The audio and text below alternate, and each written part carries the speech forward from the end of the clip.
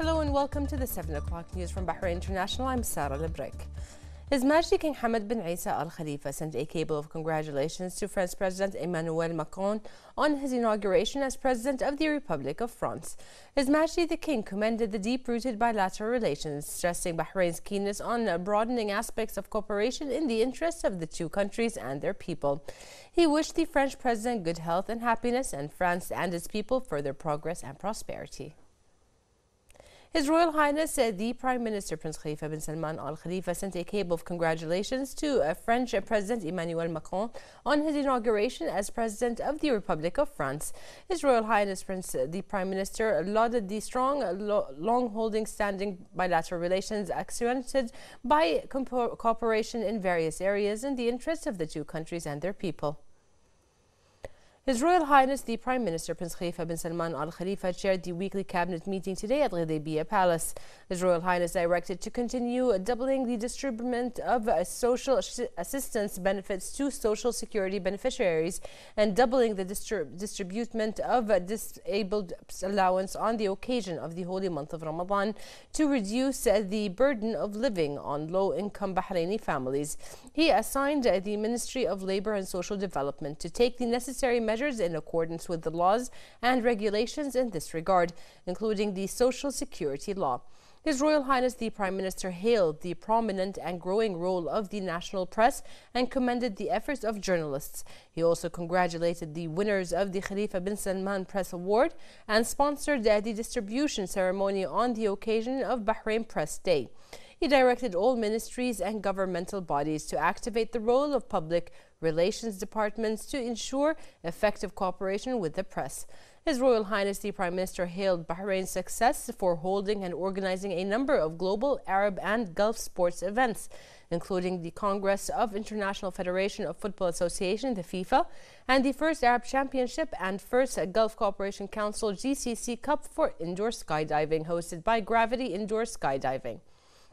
He noted the importance of specialized conferences and exhibitions that enhance GCC cooperation, including the ninth conference and exhibition of the Gulf Electronic and Electronics Engineers Association, held recently under the patronage of His Royal Highness the Prime Minister. The Cabinet condemned the failed attempts of terrorist groups to frighten citizens and obstruct the development efforts of the government of Saudi Arabia under the leadership of the custodian of the two holy mosques, King Salman bin Abdulaziz Al Saud.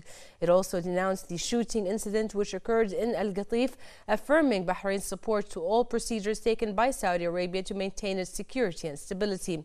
The cabinet stressed Bahrain's position, which rejects terrorism and all its forms, and called for concerted Arab, Islamic, and international efforts to combat it.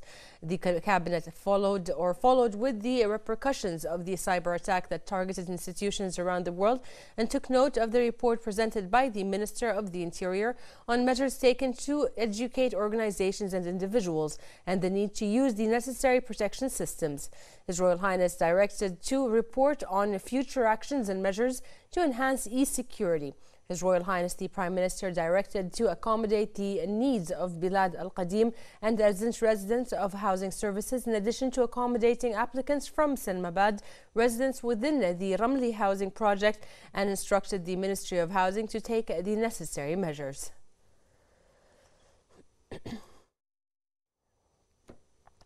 The cabinet approved the establishment of two diplomatic missions for the Kingdom of Bahrain in the Republic of Sudan and the Kingdom of Malaysia.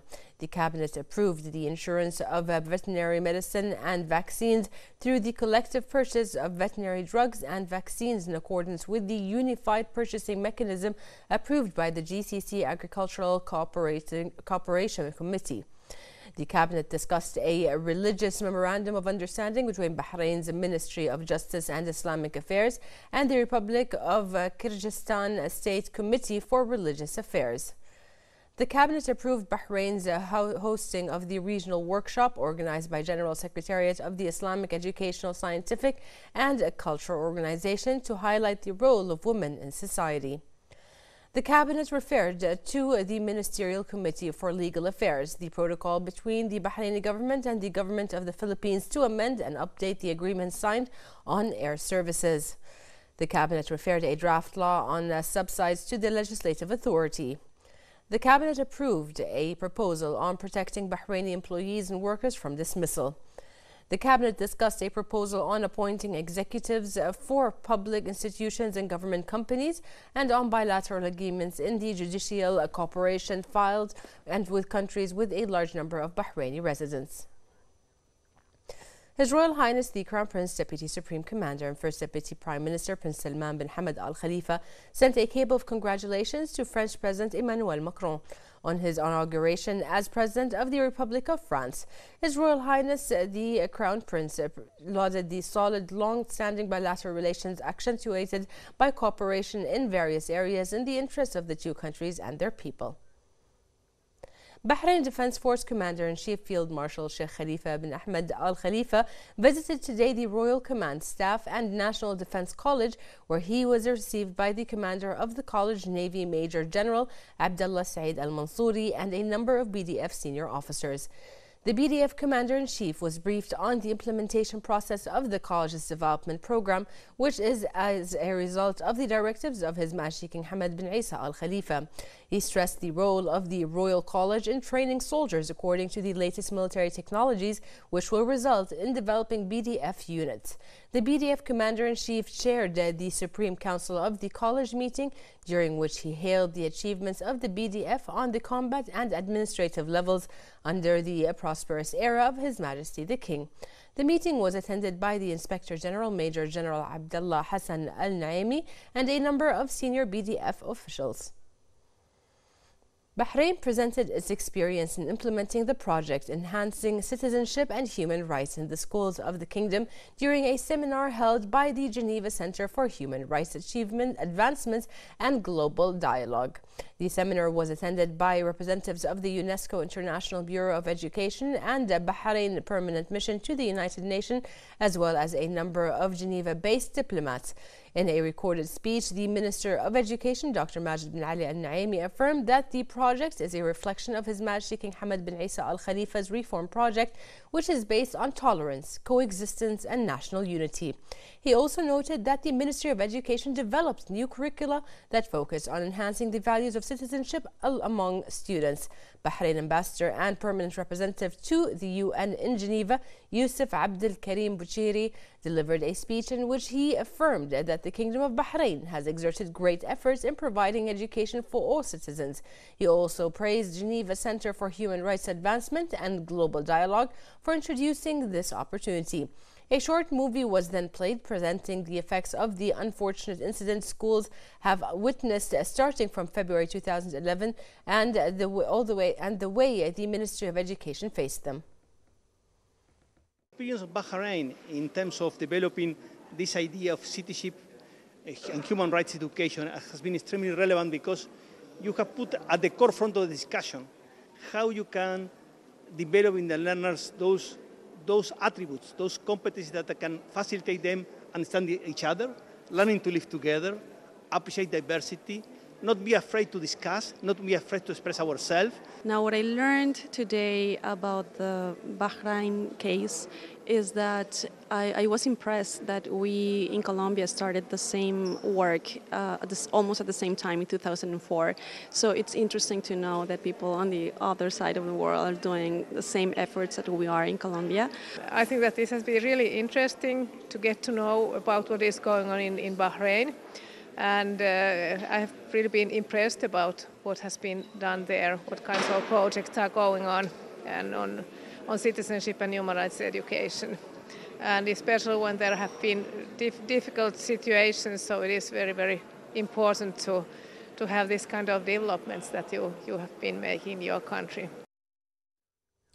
Women in Art for Peace exhibition was held today by the MENA International Peace Institute, in which, in collaboration with Europe's Art Gallery and ArtWed, when under the patronage of His Excellency Sheikh Rashid bin Khalifa Al Khalifa, Under Secretary for Nationality, Passports and Residence Affairs of the Ministry of Interior and Honorary President of the Bahrain Arts Society.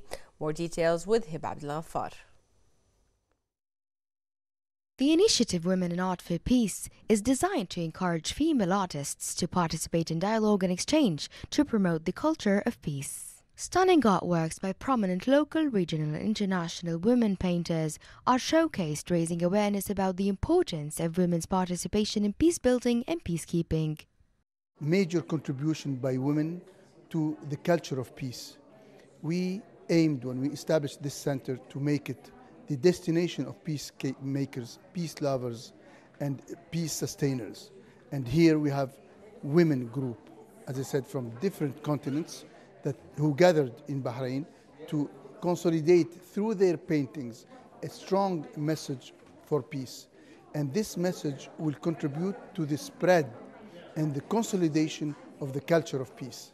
This is our first exhibition uh, and it's going to be series. Inshallah, it will move to Vienna and to New York within one year. Uh, I chose, uh, I made this painting especially for this event. It's uh, uh, made by gold leaves and it's upon uh, a holy verse in Quran. Inspiring messages of peace redacted from each artist's story. Painting is like visual music, okay? It is feeling. That's why it is abstract. And you can tell like a conversation between light and dark, like conversation between cello and violin. My name starts with Mir. That means in my language peace. So Miranda means that I start with this from within and I want to spread this out. So I was creating a lot of art projects connecting peace because I come from Slovenia that was ex Yugoslavia and that was there was war there and peace starts within the family. You start working for peace in the family you work for peace with your friends then you go out in society and you can be an ambassador of peace. So i'm very grateful to be here to be able to show my work and i would conclude with art is peace. Different backgrounds and cultures but one goal aiming to play a more meaningful role in conflict prevention, resolution, and in post war peace building, conveyed in the simplest yet most beautiful international language, art. Nothing can convey the message of peace better than art. Beautiful artworks and extremely inspiring women are here today from the East and the West, celebrating peace, love, and unity. Reporting for Bahrain International, I'm Heba Abdel very good evening. You're watching the business news on Bahrain International with me, Shog Mohammed. Bahrain Share Index has closed at 1,311.98 points, marking an increase of 1.55 points above the previous closing. The increase was in the commercial banks, investment and services sectors, and investors traded mainly in the commercial banks with 59% of total shares. 48 transactions included 2,832,561 shares worth 577,454 Bahraini dinars. The second Middle East Asset Management Forum was held today at the Gulf Hotel Convention Center, drawing experts from Bahrain, the region, and beyond. Daniel DePorto was there and brings us more in this report.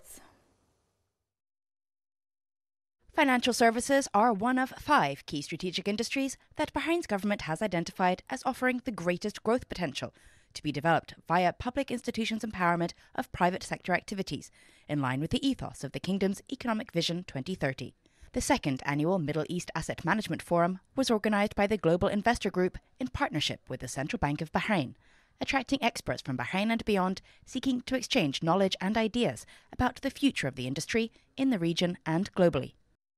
The overall uh, asset management industry is one of the growing industry in the in Bahrain and in the region as a whole, and it is one of the uh, most growing sector even worldwide. There's lots of things changing in the region and changing in the industry globally. So, so we're, we're looking at some of those today, and they include regulation, which has become a big theme um, for well, all financial institutions since the financial crisis of 2008. Um, technology, obviously, there's a lot of innovation in, in technology at the moment, so we'll be looking at that later on, as well as some of the the uh, um, challenges around taxation. There are some taxation changes being proposed also. So there's plenty to talk about. The full day event featured five expert panel sessions on the most pressing opportunities and threats facing those working in and regulating the industry today. Discussions covered market development, regulatory updates, the GCC's introduction of value added tax on goods and services from 2018, blockchain and fintech, and the global outlook for asset management in the context of Western political upheaval. Bahrain's asset management ecosystem is young but growing at a tremendous rate, with a number of features that indicate a bright outlook, including forums such as the one hosted today. We've uh, started uh, this type of uh, activities in uh, 2006. As we uh, speak today, uh, the assets under management for those assets managers exceed 19 billion US dollar in less than nine years, which is I see it as outstanding in terms of the growth. Uh, I think Bahrain, as you are aware, is one of the preeminent financial center in the region, specifically to the banking and assets management.